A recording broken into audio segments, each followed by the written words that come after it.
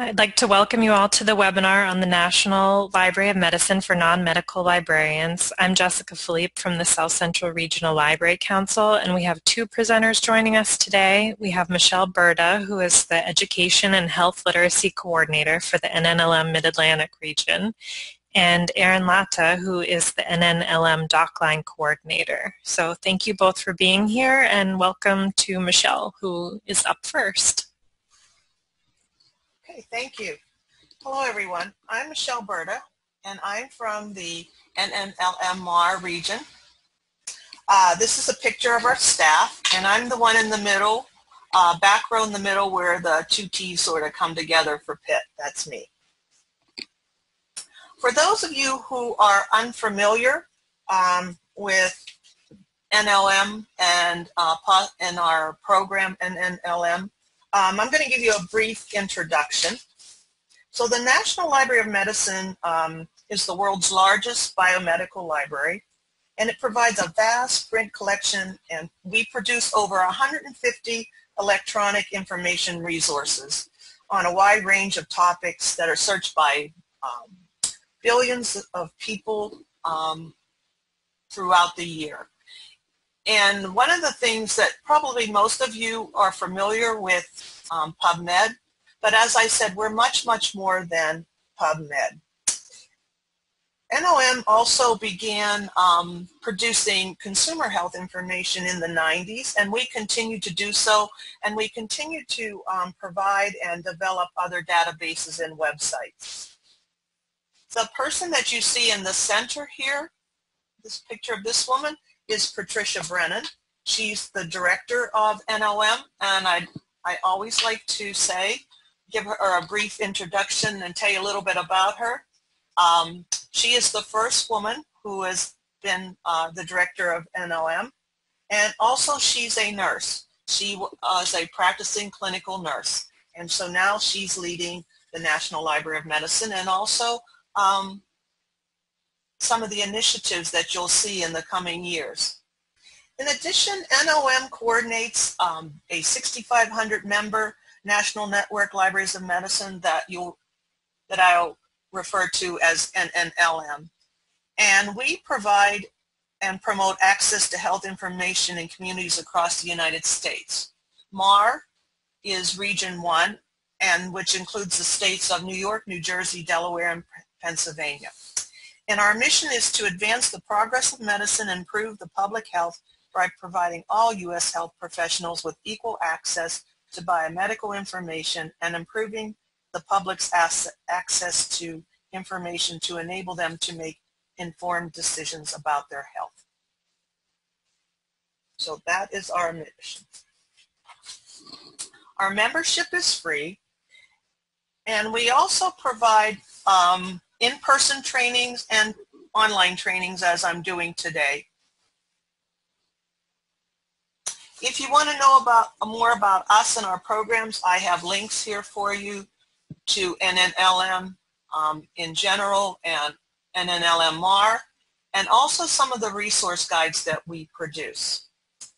I'd also like to take this time to ask you, please, if you've not done so, to review and update your membership organization um, information. And if you don't, aren't a member, that I hope that you'll consider becoming a member. And the certificates um, will be sent out to you after your membership is updated. Now let's look at some of the NLM resources that I have uh, chosen for you today. I, we don't have a whole lot of time, so I've just picked out three that I think are um, probably provide you with the most diverse information. And these, these resources that I've chosen, I would say they're more really like portals than they are just a website because they draw um, information and aggregate information from other government agencies and departments and external organizations and associations. And one of my favorites that I'm going to talk about today is Medline Plus, um, which provides information for consumers and also healthcare professionals who are looking for patient ed and teaching materials. Then we have SIS, the Specialized Information Services, which I'll talk about next. And that again is a division within NLM, provides environmental health and toxicology information. That they also produce our drug information portal and outreach. And the last one um, is disaster health information, which is also called DIMRC, and it stands for Disaster Information Management Resource Center. And I'll uh, show you a few things that you'll find there. So the first one I'd like to look at is SIS, and this is the home page. And um, I always say that it's probably one of the best kept secrets of NLM. You may be familiar with its resources, but not really know it as a department itself.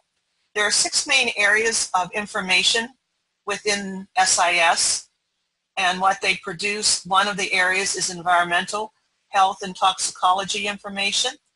They produce chemical and drug information, HIV AIDS, outreach activities and resources, which we're going to look at next.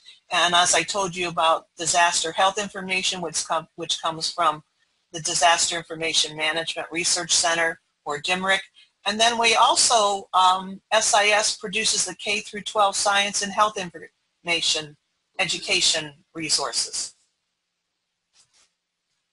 Now, if I were to click on the outreach tab that was the, on the second row to the left, this is what the page would look like. And I'll give you a minute just to see how vast and how many areas and how much information is found there for uh, specific populations. What I'd like to do next from this page is I'm going to click on the multicultural resources for health information. And this is what the page would look like. Again, you can see multiple um, areas for you to explore. And within each of these topic areas is a multitude of, of more uh, links and resources to, to other information. For one, for instance, here's cultural competency. If I click on that, that takes me to probably 20 other resources. We have um, the refugee and health portals, and we also have health resources in multiple languages. So um, because of limited time today, we can't explore all those, but I would really highly recommend that you look at those, take some time and look at those. If I go back to the SIS page and do a search, I, I chose carbon monoxide because that's a, a problem um, during the winter months. And if I chose, if I search carbon monoxide, one of the um, links would go to this page called Toxtown. And Toxtown is another um, uh, resource developed by SIS and they focus on environmental health. And you can go through various neighborhoods and find out, find out what may be hazardous to your health or search a particular topic as I've done here, carbon monoxide. And as I said, with winter upon us, um, this is a good resource for consumer or middle to high school age children, but adults like it too. So when I searched carbon monoxide in Toxtown and clicked on that link, this is what I found. So it gives you a very nice description, always explains what carbon monoxide is, and then there are more links for you to search further and get more information from um, other government agencies. There's carbon monoxide poisoning information from the CDC. There's one information from OSHA, um, EPA, and then also you see the little figures down below, and these are locations where carbon monoxide may be found.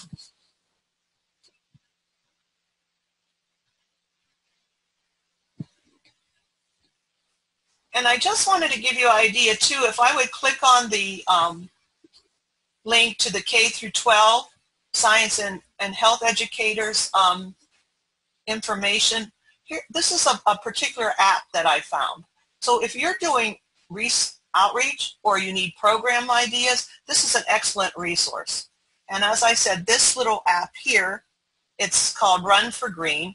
and it was developed by NLM, and it's a game for K through 12 students to explore topics of environmental uh, conservation. And here are a few screenshots.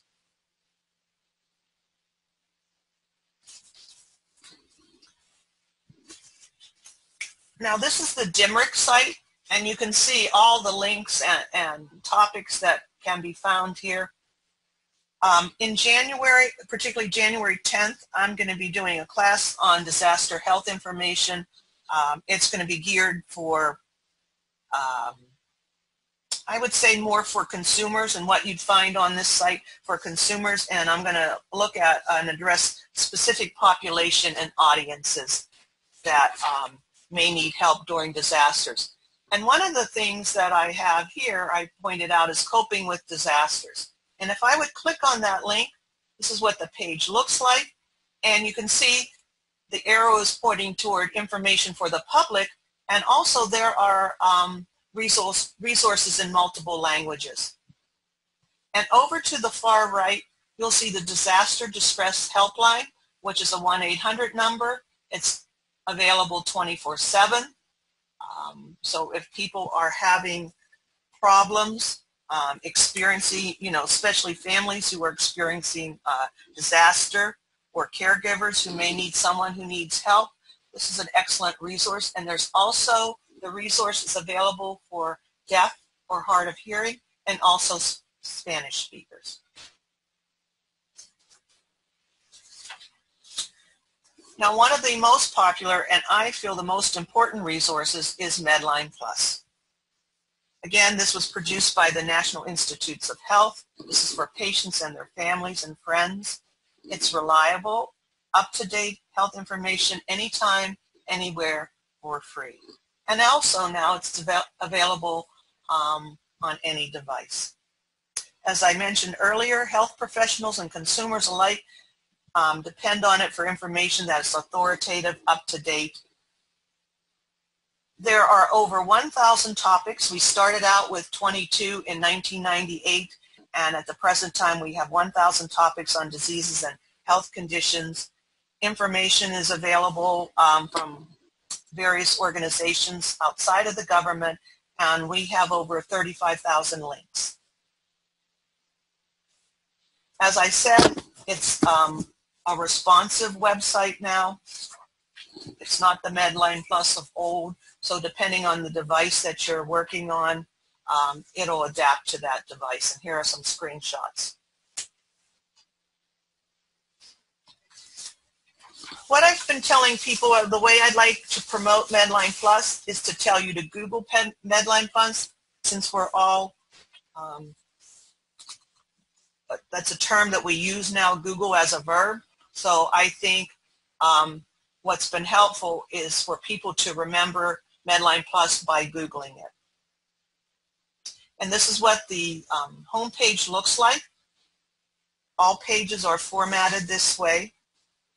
We have our health topics on one side. We tried to make them very large and clear. You have your drug information and supplements, videos and tools. In the center is today's health news. So whatever you're hearing on the radio or TV, um, this is where you can find that information. And then we also have the Medline Plus magazine that's available that you can order in bulk for your library or for your organization. And what I want to do next is I had looked at a topic within Medline Plus. There's a topic, winter health, winter weather emergencies. This is what the page would look like. And you can see the related topics frostbite, hypothermia. And also I want to point out, see the box on the right-hand side that says languages? So you have um, this type of information that's available in Arabic, um, Bosnian, and also Somali and Spanish. Not every topic, not all 1,000 topics are available in all languages, but when you click on the topic, as I said, you can see on that far right-hand side tells you what languages that this topic is available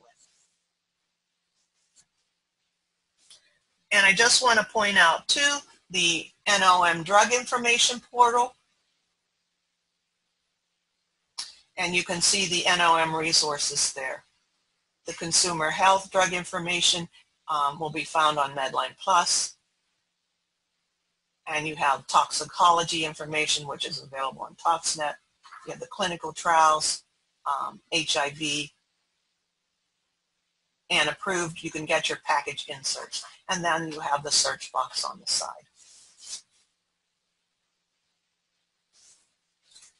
And I'm going to end now with the benefits of being an NNLM membership, being a, a member. Um, again, I invite you all, if you're not members, to become a member. Uh, one of the big things that's important to a lot of people is funding. We have um, our funding our funding period, our, our second round of funding period has ended, but we'll be calling for applications again uh, mid-February to end of February, and these are the areas of um, funding that are available. We have funding for health literacy projects, emergency preparedness, uh, professional development up to $2,000, uh, health information awareness, that's a $5,000 award. So if you want to know more about funding and awards, just let me know. And also this is just a snippet of all the different resources we have. Training is available, as I said, online and in person. And um, also we have some great program ideas and toolkits that can help you developing um, programs and outreach. So I'm going to end now, and I believe we're going to hold our questions to the end. And again, here's my contact information. This is who I am, my phone number, and email. And now we're going to turn it over to Erin. Thank you all. Thanks, Michelle. And you can feel free to type in questions as we go along, and then both Erin and Michelle will take some time to answer questions at the end. Hi, everybody. Hopefully you can see my screen here, my welcome screen, and I will have to ask, stop and ask and make sure everyone can hear me okay and can see my screen all right. I'll take your silence as a yes. um, so welcome to DocLine and Lonesome Doc for non-medical librarians. I am Erin Latta, your DocLine coordinator. Thank you, Michelle. Uh, I'll take it from here and I'm going to introduce you all to my specialty, DocLine. This adorable little pup you see is, of course, the world famous Tugger. okay, so maybe he's not world famous, but in the DocLine world, he is quite a celebrity. You'll see a lot of Tugger from now on. Um, so historically, the user group for DocLine was librarians with very specialized knowledge. Now, some users are library clerks, students, and even continuing medical education coordinators. So really, it could be anyone using DocLine now. Um, next, see. So DocLine is the preferred method of routing requests to the NLM. I am here at the National DocLine Coordination Office at the University of Maryland, Baltimore Health Sciences and Human Services Library in the beautiful Inner Harbor area of Baltimore City, not far from everybody in New York. Uh, I am a national office, so it doesn't matter where I am. I serve everyone in the nation uh, in terms of DocLine and Lonesome Doc. Um, as I said, I'm going to talk briefly about DocLine and Lonesome Doc.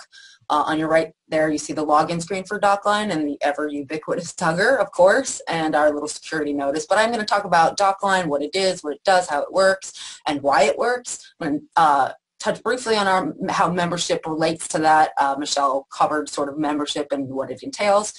I'm going to talk about yesterday, today, and tomorrow, and Lonesome Doc.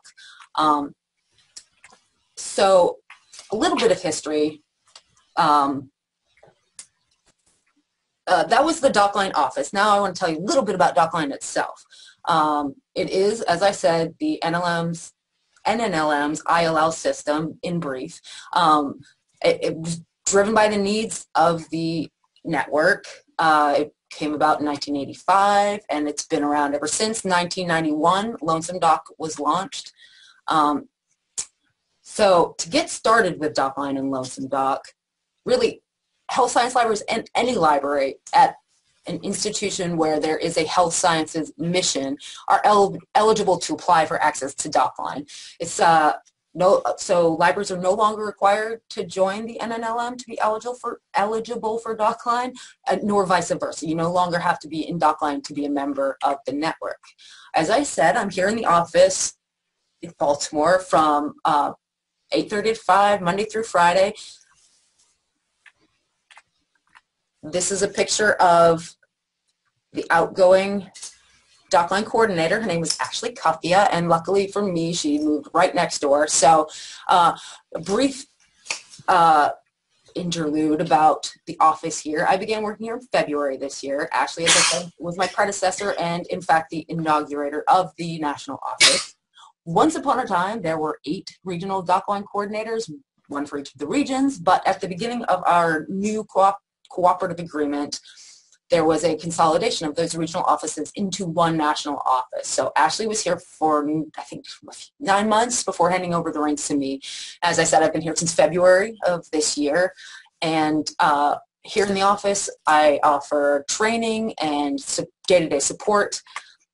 Um, so one of the things that Ashley did when she first started at the national office was to devise this document delivery and interlibrary loan plan for the National Network of Libraries of Medicine. So in it, she outlined the description, objectives, and responsibilities of each of the players in the DocLine arena. So that would be me, you, the NLM, the NNLM, and uh, um, that plan can be found on our website. Some of the requirements of DocLine participation are very simple. We asked for uh, 20 biomedical serials. Uh, current. Uh, we ask that they are maintained at least annually for accuracy.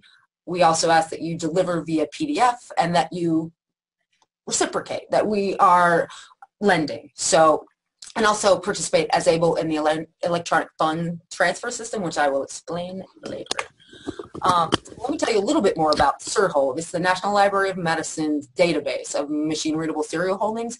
So it's basically all of the holdings statements of all of the network members and they are linked back to the NLM's bibliographic data in Locator Plus. So currently there's, uh, I'm not even sure, over a million uh, holding statements in there. So um, serial holdings contain the holdings data, as I said, for all of the medical libraries that participate in DocLine. So in your serial holdings, you can add, update, and delete holdings, and you can also search other libraries' holdings information, which is uh, very handy. It's an interlibrary loan system, as I said, so holdings reported within DocLine are only for serials that libraries can provide interlibrary loan service with.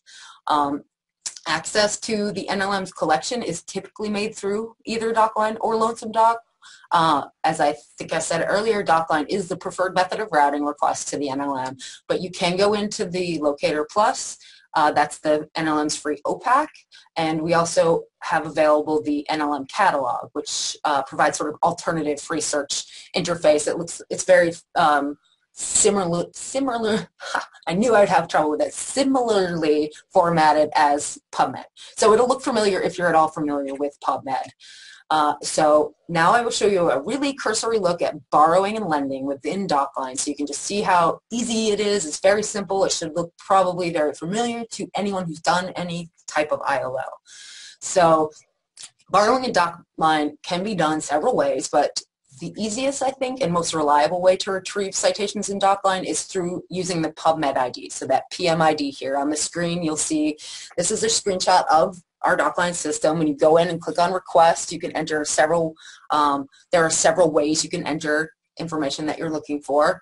Um, as I said, PubMed is one of the ways you can use the unique key here. As you see, this is what it defaults to. And in there, you can enter up to, I forget how many, 10 to 15 PubMed IDs all at once. And you can pull them all up at once and decide which to process and if you don't need to process them otherwise. You can also search in this box here, you'll see a PubMed button. You can click on that. It will take you to a framed-in version of PubMed within DocLine. So you would use it would look just like PubMed, but it's actually framed into DocLine. And so once you have made uh, your choices, it will take you right back to DocLine where you were, you know, missing beat. Um, there are other ways to do it, but PubMed ID is the easiest and most reliable, as I said. So PubMed Central is a free full-text archive of biomedical and life sciences journal literature in the NNLM, and I, I'm sorry, the NLM. Uh, in addition to its role as an archive, a great value of PubMed Central lies in its capacity to store um, and cross-reference data from several diverse sources. Uh, as you can see here, it is full for free full-text digital archive of biomedical and life sciences journal literature contains more than 3 million articles reaching back over two centuries. As you can see now, um, 4.6 million articles are archived in the PubMed Central. Uh, Speaking of free, uh, if you are a fan of free things, as I am, you might be excited to hear about our um, free reciprocal ILL group called Free Share. If you are a member of DocLine, you can choose to become a member of the Free Share Library group, which serves um, almost half of our, I think, 2,400 member li- uh, 2100 member libraries. Uh, as I said, it's a free reciprocal group where the members share resources with one another for free. So it's very handy. Uh, I think I, everyone should join FreeShare if they're in DocLine. A lending, this is what some of our lending looks like in DocLine. It's, as I said, very easy. You receive a notification of a request. You have one day to receipt a normal request, and to receipt it means simply that you're acknowledging that you've seen it and you intend to work on it. Once receipted, the, you have three days to update it, and once you've pulled and scanned or other, otherwise located and processed the particular article, you come back to DocLine, you choose the action, so either filled or not filled, and then how it was filled or why it was not filled. Um, now, on to, I said as I said, this is all very brief overview. I know I'm moving very quickly through this, but I want, uh, I want you all to know that I'm here in the office all the time, and I'm here almost exclusively to answer your questions. So forgive me for my speedy tour through DocLine. I'm not done yet, but um, I know I'm moving fast, but there's a lot to consider, but I'm always here to answer questions. Um, I want to move on to our EFTS. It's the electronic fund transfer system, as I explained earlier. It is the billing component of DocLine. I want to be very brief on this. It's just a great service that's very handy. Currently, the Health Sciences and Human Services Library at the University of Maryland, Baltimore, where I'm located, is actually offering some starter awards for the electronic funds transfer system. So we have uh, $200 awards that are being given out on a first come, first served basis. So if you're at all interested in DocLine or, and the electronic funds transfer system, there's a great opportunity there for you. Please email me. I'll answer any questions you have about that. So that was, I've talked about a little bit about the past and a little bit about the present, but what is in store for DocLines tomorrow and our Lonesome Doc services.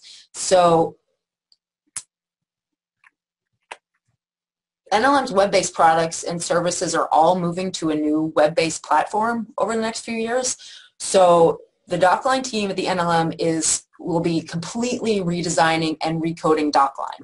Don't worry, there will be no dis disruption during that process, but we are moving away from using library-specific terms um, which is a nice thing. Uh, so instead of calling serials serials, we'll call them journals, as most people know them as journals. Um, the redesign will also give the electronic journals and electronic delivery more prominence so we'll be using less print-centric language. Uh, many things have changed since the system was rolled out in 1985. and that was when libraries were mailing photocopies instead of delivering PDFs from their online journal collection via email. So it's going to be an agile design process. It'll be iterative. You'll start seeing new designs soon. And like I said, there should be no dis disruption and it should all go very smoothly, but it should be a wonderful improvement. Um, so I'm moving very quickly, but as I begin to wrap this up, I want to tell you where you can find some help if you are using DocLine. We, of course, have, if you have technical questions, the place to go is not me. it would be straight to the NLM folks. If you have questions that are, um, you know, technical problems, issues, with system performance, if you're getting error messages or pages aren't loading, technical help is there for you. At the NLM, you can go to the website and contact them using that. You can always use the customer support that we have from DocLine. Within DocLine, you can click right on our customer support home or our user guide to help you using it. I'm sorry, I'm going backwards now. That would be bad. So follow us on Twitter. This is where you'll find updates about Tugger and customer support, service notices, and finally, I want to leave you with another version of Tugger, and I also want to show you some stats. Now, I'm told everyone loves stats, so these are our monthly activity summary stats. The numbers you see here are University of Maryland Baltimore's, but as you can also see as compared to the entire DocLine system.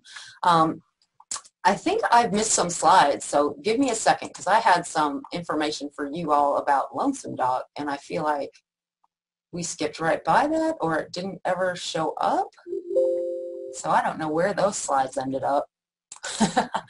but let me tell you a little bit about Lonesome Doc. So Lonesome Doc is sort of, we have this mission, as I was talking about, with uh, these requirements for DocLine participation. Um, let me pull that slide up for you. And really, there are some strict requirements, as you can see here. Not all of you, I understand, will have 20 biomedical serials for which to share. Um, so what we do offer is this Lonesome Doc service. And it looks like that slide was hidden and that's why you didn't see it. So let me see if this will, there it is, how great. So Lonesome Doc is, so I heard, you heard Michelle talk about it and I also mentioned briefly the NLM, NNLM's mission to provide health professionals with equal access to biomedical information. Now, this mission includes providing professional library services to unaffiliated health professionals. So those professionals that are not served by health sciences libraries or by health sciences libraries within their hospital or clinic.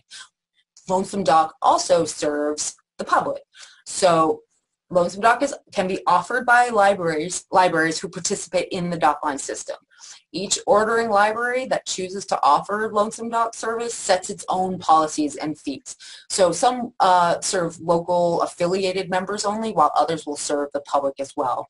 Each library that chooses to offer Lonesome Doc services sets its own policies and fees, including to whom they offer service. So, uh, and whether they require pre-approval or prior contact or deposit accounts when using, before registering for Lonesome Doc. So Lonesome Doc requests arrive in DocLine, and if the library cannot fill them, some, not all, but some Lonesome Doc providers use the Lonesome Doc transfer function within DocLine. So that would in, turn them into regular interlibrary loan requests. So let me say that again. If you are serving as a Lonesome Doc library, you can either fill exclusively from your own collection. So you would serve uh, what you have in your holdings. Um, while an, another option would be to then, if you don't hold that, then turn it into a DocLine, so into a regular interlibrary loan request between two libraries. So, and then once the library, once the request becomes an ILL request, then of course the borrowing library is responsible for copyright compliance and things like that. So as I said, some serve only affiliated members, but you can, each library chooses what they will share.